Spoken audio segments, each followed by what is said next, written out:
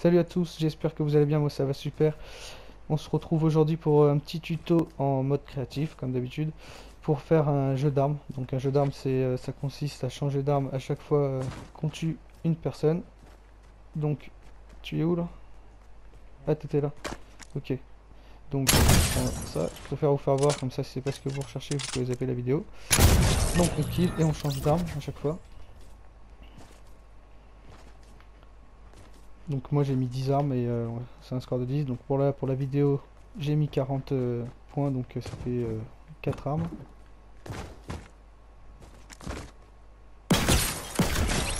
Là. Donc là on passe au revolver.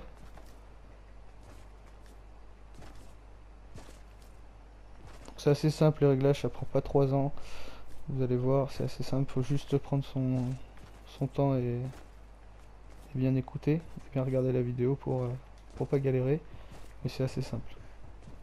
Moi j'ai passé un peu de temps à trouver la solution. On peut faire plein de mini-jeux. Je vous faire d'autres tutos euh, sur d'autres mini-jeux là comme euh, je suis en train de faire une recherche et destruction comme sur Call of Duty. En fait le but c'est de faire des jeux des modes de jeu de Call of sur Fortnite. Donc là je suis aux pompes. Et à la prochaine ça va mettre fin à la partie.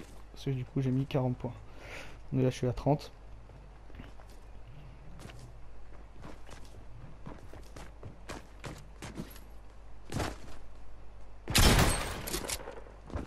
Ça bloque là, on va sortir par là. T'es où? Ah Donc voilà. Normalement, ça s'arrête.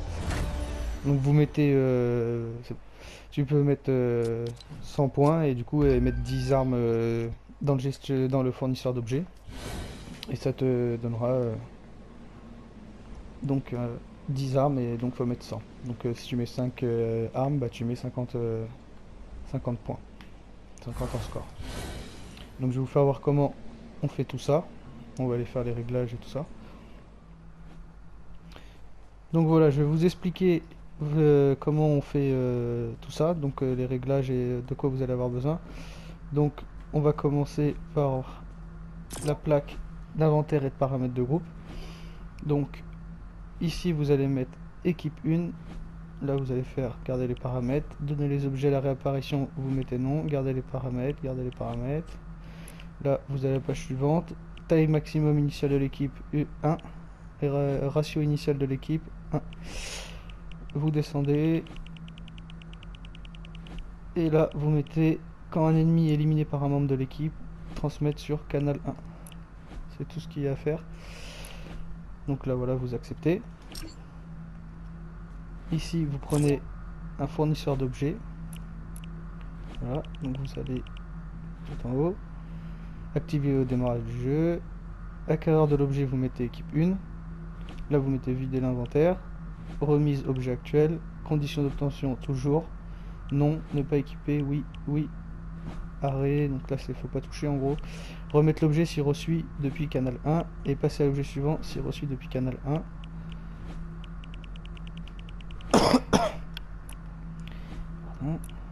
Et on valide. Et ensuite on met un, gestionnaire de score. on va là. On touche à rien, on met juste valeur de score, on met 10, on met équipe 1. On va ici. Et là vous faites canal 1 et vous validez. Et donc après, vous êtes obligé d'ici, donc ça vous serez vous pourrez pas le copier les plaques, vous allez devoir en reposer une et régler identique à celle-là sauf que vous mettrez canal 2 et équipe 2. Les mêmes réglages. Donc équipe 2 et canal 2. Ici, bah, pour faire la même chose, vous venez prendre et donc on fait copier, coller. Et on vient juste ici changer canal 2 pour remettre l'objet et passer à l'objet canal 2. On vient là dans le deuxième onglet et on monte et on met équipe 2 et on valide. Pareil pour ça, on prend, copier, coller, on clique dessus, on met équipe 2, on va ici, on met canal 2 et on valide. Et après bah, vous faites ça pour euh, 3, 4, 5, 6, 7, 8, 9, jusqu'à 16 joueurs, selon le nombre de joueurs que vous voulez. Donc voilà, donc ça c'est assez rapide hein, pour les armes et tout. Juste à faire du copier-coller et changer les canaux des équipes. Juste ça qui va être un peu plus chiant parce que ça vous à les poser les... et les recopier à chaque fois, enfin recopier les, paramètres euh, sur chaque plaque. Donc une fois qu'on a fait ça, il faut régler les paramètres de jeu. Donc la discussion vocale, vous pouvez laisser tout le monde. Bon là pour les tests, là j'ai mis que deux équipes, mais si vous voulez euh, mettre 8, vous mettez, enfin, vous mettez le nombre de plaques que vous avez là. Donc moi j'en ai mis euh, déjà 8, donc je peux laisser 8 si je veux. Taille de l'équipe, vous mettez une. Identification de classe, donc non. À la fin du jeu, limite d'apparition infinie. Destination après, dernière apparition, donc on laisse. Un spectateur. Manche totale, donc une. Rotation d'équipe, non. Victoire de par jeu décisif, non. Au début de la manche. Limite de temps, aucune. Victoire par meilleur temps, non. Toutes les équipes doivent terminer, non. Condition de victoire, vous mettez score. Donc là, vous touchez pas. Ici, score requis pour terminer. Donc là, euh, là j'ai mis 40 pour les essais, mais normalement euh, j'ai mis 10 armes, donc 100. Euh, mais on va jouer que 4 armes pour les tests, pour vous faire voir. Et donc, fin au dernier survivant, non. Rejoindre un joueur en tant que joueur. Ouais, dalle de réapparition.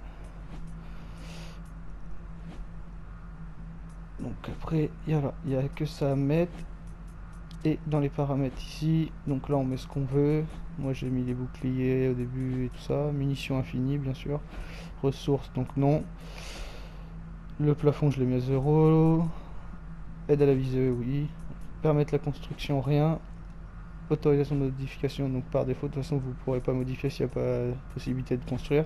Construire et détruire le décor non on sait jamais je l'ai quand même bloqué. Dégâts sur le décor non dégâts aux structures non dégâts de l'arme 100% Dégâts des pioches, oui. État, KO là c'est important, faut toujours mettre non. Objet du joueur éliminé, garder. Dépôt des objets non. Ramasser des objets non. Durée de réapparition 3 secondes. Durée des munitions 2 secondes. Dégâts de chute, oui. Enfin pour moi, après ça c'est vous qui voyez. Fatigue après plusieurs sauts, c'est pareil. Moi j'ai mis oui. Redéployer, j'ai mis non. Du planeur. Euh, vol du joueur, non. Et vol accéléré, mais bon, ça, ça sert à rien. nom et position des joueurs équipe uniquement, mais mieux, ça sert à rien de changer. Et PV rendu élimination, j'ai mis 50. Et voilà, normalement il n'y a plus rien à toucher après. Et à l'interface, si vous voulez avoir tout euh, comme moi, donc euh, la carte et euh, le, les scores et tout, vous mettez, bon là, c'est entre les manches, si vous les délais entre, si vous mettez des manches c'est que le délai est trop long, vous mettez genre 5 secondes là. Comme ça, entre les manches, ça se lancera plus rapidement. Donc là, vous mettez ça. Tableau des scores j'ai décisif 1, vous mettez joueur éliminé, élimination, score, et là aucun, et là vous mettez écran de la carte, tableau des scores. Et puis c'est tout, voilà. Et puis du coup, bah, vous aurez la, même chose à afficher que moi à l'écran pour suivre le score. Et après, bah, quand vous lancerez, bah, ça marchera exactement de la même manière que moi. Donc voilà pour un jeu d'armes. Euh, si ça vous a plu que cette vidéo vous a été utile, bah, n'hésitez pas à laisser un petit pouce et vous abonner, ça fait toujours plaisir. Et sur ce, je vous dis à la prochaine.